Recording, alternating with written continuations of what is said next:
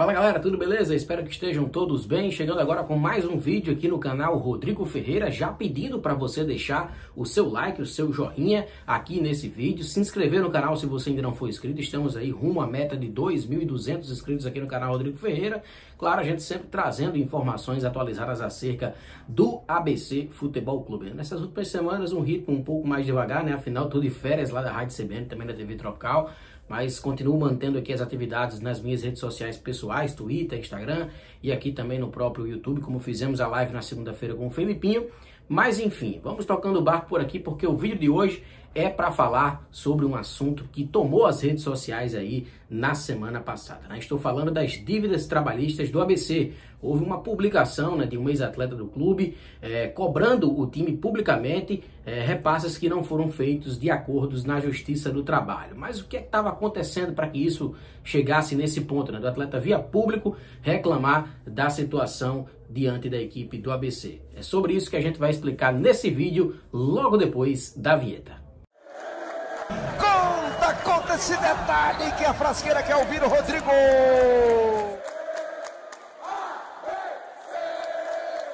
Pois é, pessoal, essa situação acabou causando muito transtorno, né? Muita discussão aí na, na torcida do ABC, muita gente é, sem saber direito o que é que estava acontecendo. E eu fui saber informações oficiais através do departamento administrativo e jurídico do ABC Futebol Clube para tentar trazer para vocês aqui uma informação mais confiável acerca do que está acontecendo nesse caso, né, dos atrasos no pagamento das dívidas trabalhistas. Vamos lá, vamos começar pelo começo, né, para que nada aqui seja atropelado.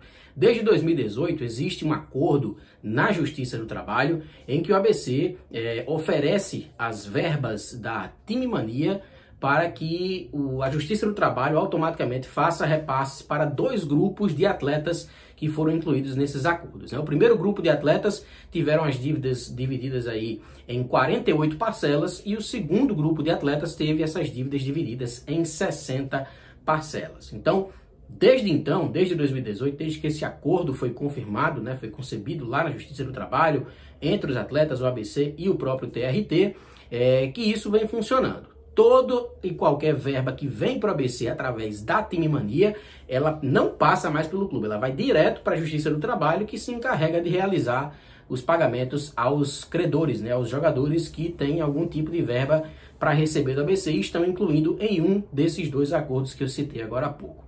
Ocorre que é, em maio desse ano, né, houve uma suspensão por parte da Caixa Econômica Federal, que é quem opera a loteria da Time Mania, é, dos repasses que são feitos aos clubes que estão incluídos nessa, nessa, nessa situação da Timania, né? Então, em maio desse ano, houve essa suspensão total dos repasses. Por que, que houve essa suspensão? Né? No começo do ano, todo mundo acho que lembra aqui, né, a, houve um decreto aí federal a, dando conta de que haveria algumas alterações no, no quesito da Timania. Alguns clubes que hoje não estão mais nem em atividade praticamente, é, continuavam recebendo valores provenientes da Time Mania, enquanto outros clubes que haviam tido uma ascensão né, nesses últimos anos não vinham sendo beneficiados com isso. Então, houve uma troca, uma mudança na situação dos clubes beneficiados pela Time Mania, isso com um decreto que foi é, publicado no começo do ano de 2022. Em maio, a Caixa acabou realizando né, toda essa suspensão de repasses é, para todos os clubes que estavam incluídos dentro da Team Mania, para que ela pudesse ajustar, né, retirar os clubes que iriam sair e colocar os clubes novos. Então, a partir do momento em que essa, essa suspensão foi feita pela Caixa, automaticamente né, os atletas que estavam recebendo os valores provenientes desse acordo do ABC na Justiça do Trabalho pararam de receber. Em maio, eles pararam de receber esses valores. O ABC, então, notificou né, a, a Justiça do Trabalho do que havia sido é, suspendido esses repasses por essa questão de readequação lá na loteria da Caixa e ficou todo mundo aguardando o retorno desses pagamentos, né, desses repasses que seriam feitos pela Caixa Econômica Federal. Por volta do mês de agosto, a Caixa voltou, né? ela normalizou todo o seu sistema, incluiu as equipes que deveriam ser incluídas, tirou as equipes que tinham que ser tiradas e retomou a fazer os pagamentos, inclusive com os valores retroativos aos meses em que não havia tido sido feito esse repasse, né? Em agosto, isso aconteceu em agosto, ou seja, o ABC recebeu um acumulado aí, algo em torno de meio milhão de reais, né? algo em torno de 500 mil reais, foi repassado de uma vez só para o ABC no mês de agosto. Acontece que quando a Caixa iria fazer o repasse, né, não para o ABC, mas para a Justiça do Trabalho, para que ela pudesse voltar a realizar os pagamentos aos atletas, teve um bloqueio em cima desse valor que está destinado ao pagamento das dívidas trabalhistas, né? Segundo a Caixa Econômica Federal, né, ela foi provocada sobre o assunto e falou sobre isso para o clube, para a própria Justiça do Trabalho, foi um bloqueio realizado pela União, né, pela Fazenda Nacional, é, relativos a alguns atrasos que a ABC tinha, né, de anos anteriores ainda, com relação ao pagamento de imposto de renda, de INSS e alguns tributos federais, né? Ou seja, dos pouco mais de 500 mil reais que a ABC tinha recebido de uma vez, né, teria direito a receber de uma vez e seriam destinados ao pagamento das dívidas, 484 mil reais foram bloqueados de uma vez só pela União devido a esses pagamentos aí é, de tributos federais, né? Uma dívida antiga também do clube que acabou é, impactando nisso. O ABC, ciente da situação, notificou o TRT do que havia acontecido, ó. A gente iria receber o dinheiro, iria chegar aí na conta de vocês, né? Automaticamente, como vinha sendo feito desde sempre. Só que houve um bloqueio no meio do caminho da União é, por causa de dívidas de tributos federais. O ABC considerou esse bloqueio indevido, já vista que o dinheiro da Team Mania não estava vindo para o clube e sim já estava sendo destinado para o pagamento de outras dívidas trabalhistas. Então, o ABC comunicou ao Tribunal Regional do Trabalho aqui do Rio Grande do Norte e o TRT se encarregou de fazer esse contato com a Caixa e depois com a União para que os valores sejam liberados novamente, né? Inclusive depois, né, os meses foram passando, foi feito um novo bloqueio da União pelo mesmo motivo, de mais de 100 mil reais.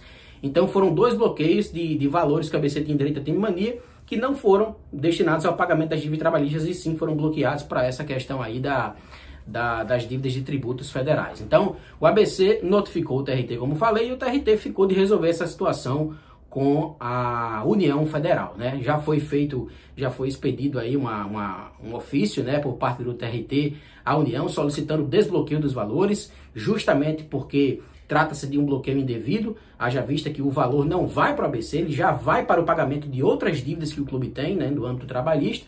E aí está nessa indefinição, né? Está no aguardo aí dessa situação para que o, os jogadores voltem a receber as suas parcelas dos acordos que foram firmados lá ainda no ano de 2018.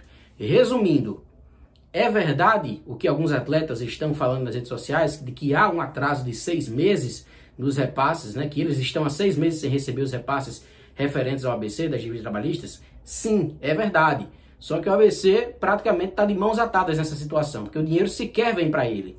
O dinheiro sempre vai direto para a Justiça do Trabalho. E como houve esse bloqueio no meio do caminho, né, uma interferência da União, da Fazenda Nacional no meio do caminho, isso acabou desorganizando o que vinha sendo feito é, desde o ano de 2018. Então, a situação é essa, né? Agora, a, a, a, a indefinição, né? A, o TRT está aguardando o retorno por parte da União para que a situação seja resolvida, os valores sejam desbloqueados e aí sim é, a, a, o TRT comece a voltar a pagar esses atletas, né? Desde o, o princípio lá em que eles estão com os repasses atrasados.